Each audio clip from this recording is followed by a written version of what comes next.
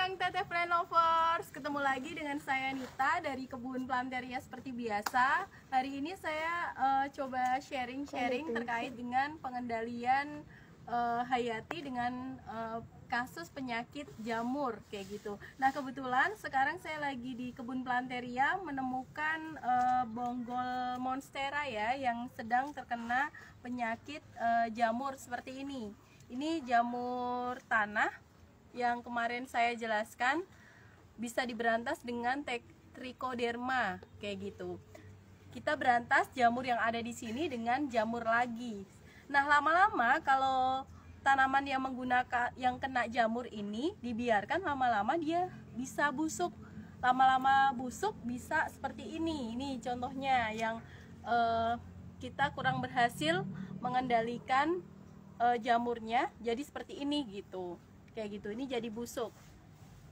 Nah biar kita nggak jadi seperti ini kita nanti mau info ke teman-teman sharing-sharing barangkali nanti teman-teman bisa menambahkan. Kita berantas lagi jamur yang mengena menginfeksi tanaman ini dengan jamur lagi.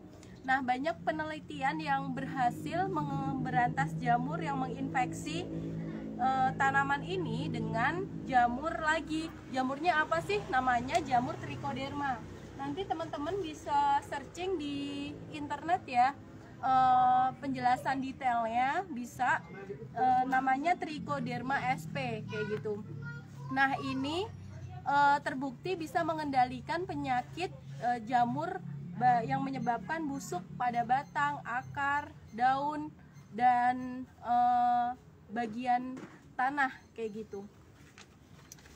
Nah, untuk jamur trichoderma sendiri ini kita udah siapkan ada di sini kalau misalnya teman-teman mau mendapatkan trichoderma secara alami bisa itu dengan uh, tanaman uh, dengan jamur uh, dengan biang yang ada di bisa teman-teman temukan di dalam batang pohon pohon uh, bambu ya teman-teman. Teman-teman bisa ambil dari situ kayak gitu. Cuma ada beberapa caranya. Nanti kalau teman-teman mau cara alami itu bisa seperti ini yang kemarin saya jelaskan juga. Jadi pohon bambunya itu eh, teman-teman belah terus teman-teman isi dengan nasi yang udah didiamkan semalaman. Setelah itu eh, diikat pohon bambunya itu diikat setelah diikat ditanam ya teman-teman. Nah setelah ditanam 5 sampai 7 hari nanti dibuka lagi uh, jamurnya di sini. Setelah dibuka nanti kalau misalnya dia udah mengeluarkan semacam putih-putih seperti kapas itu berarti uh, udah ada trichodermanya nah itu nanti bisa diambil untuk dibiangkan diperbanyak kayak gitu. Nah kalau misalnya teman-teman ngerasa itu uh, terlalu ribet ya teman-teman. Nanti teman-teman bisa menggunakan uh, anti jamur tanah seperti ini. Praktis banget tinggal teman-teman nanti uh, buka terus tuangkan ke media tanamnya gitu. Nah uh, ini saya bisa saya uh, menjelaskan untuk yang tanaman yang terkena infeksi jamur. Nanti seperti ini dia sedikit-sedikit mulai mengenai tanaman nanti kalau di, dia dibiarkan lama-lama akan uh, semakin banyak. Nah semakin banyak ini lama-lama akan semakin lembek. Pernah nggak sih teman-teman menemui tanaman yang atasnya itu sehat, tiba-tiba di bawahnya itu tuh uh, lunglai, letoy dan lain-lain? Itu bisa jadi uh, dikenakan uh, kena sama jamur gitu. Nah, salah satu caranya kita bisa menggunakan anti jamur ini. Nanti anti jamurnya tinggal kita potong aja seperti ini. Nah, lalu kita tuangkan di sini. Kayak gitu. Nah ini praktis banget teman-teman kalau misalnya teman-teman menggunakan ini tinggal tuang terus e, dibiarkan aja cukup kalau enggak nanti bisa dibumbuhin lagi dengan tanah seperti ini kayak gitu ketika teman-teman menggunakan produk ini pengendalian secara hayati ini menggunakan jamur lagi jamur lawan jamur ini teman-teman uh, disarankan tidak menggunakan uh, obat-obat kimia ya atau pestisida kimia, pupuk kimia. Kenapa? Karena bisa membunuh jamur lagi yang ada di sini seperti itu. Nah, mekanismenya gimana sih? Kok bisa jamur itu yang ada kena di tanaman e, dilawan dengan jamur lagi gitu. Nah, ini udah diteliti oleh e, e, banyak universitas yang meneliti tentang trichoderma. Jadi e, trichoderma itu dia mengeluarkan senyawa antibiotik yang bersifat e, parasitisme bagi e, patogen pa, bagi jamur yang e, jadi parasit di tanaman ini gitu dan bersifat lisis si trichodermanya itu. Lisis itu apa sih? Dia merusak membran sel yang ada di patogen itu. Akhirnya e, trichodermanya itu eh sorry akhirnya jamurnya itu bisa lama-lama mati gitu. Dan trichoderma itu bersifat simbiosis mutualisme dengan tanaman. Jadi dia mengeluarkan eh, hal-hal uh, yang bagus untuk tanaman sehingga tanamannya jadi tahan kayak gitu nah teman-teman seperti yang kita tahu kalau misalnya kita udah menggunakan uh, kimia ketika kita mau beralih ke hayati maupun organik sekalipun itu butuh proses ya teman-teman hasilnya. Dan nggak langsung seperti kita uh, menggunakan skincare maaf yang menggunakan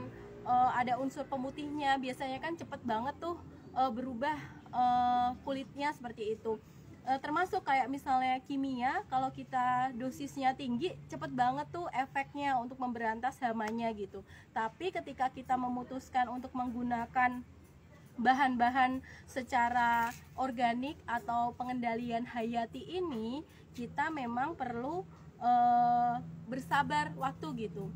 Nah, uh, hasilnya ketika teman-teman nanti berhasil mengendalikan, ini bonggolnya tuh bisa tumbuh seperti ini. Ini adalah perlakuan yang kita udah uji coba yang berhasil teman-teman nih bonggolnya keluar tunas-tunasnya seperti ini kayak gitu. Gitu teman-teman. Nah untuk uh, trichoderma sendiri itu sebenarnya di alam itu dia itu berwarna seperti ini uh, warna hijau kayak gitu. Cuma karena kita udah proses dan lain-lain nanti bentuk bentuk jamurnya seperti ini teman-teman. Kayak gitu. Nih. Ini praktis banget tinggal teman-teman gunakan tuangkan aja di tanah seperti ini. Kayak gitu. Di sini ini mengandung uh, trichoderma hamatum bisa mengendalikan penyakit busuk akar, busuk batang, busuk serta layu yang disebabkan oleh jamur dan keunggulan lainnya dia bisa meningkatkan pertumbuhan tanaman seperti itu. Nah, ini dipakainya itu cukup dengan uh, satu sendok itu pada media tanam e, 20 sampai 30 cm ya. Aplikasinya untuk pencegahan bisa dua minggu sekali. Kalau sedang sakit seperti ini bisa dua hari sekali berturut-turut kayak gitu. nah, ketika kita menggunakan e, pengendalian secara hayati atau organik ini, uh, kita tuh lebih enaknya itu tuh nggak perlu pakai masker atau pakai pelindung lainnya karena ini aman untuk kita, untuk lingkungan dan untuk uh, uh, apa anak-anak atau misalnya hewan peliharaan seperti itu. Jadi teman-teman nggak perlu khawatir dan ragu. Dan ini pun hasilnya sudah diteliti baik dari uh, ada skripsinya, tesis, disertasi, insya Allah uh, bisa uh, membantu memberantas uh, jamur yang ada di situ. Tapi memang butuh waktu ya teman-teman, tidak seinstan dengan penggunaan yang kimia kayak gitu. Nah, uh, oke. Okay uh, cukup sekian sharing-sharing uh, pagi ini di kebun planteria. Kalau ada yang mau ditambahkan atau nanti kita sharing-sharing bisa nanti via DM atau WA Teh Mimin. Selamat pagi, selamat beraktivitas, selamat berakhir pekan.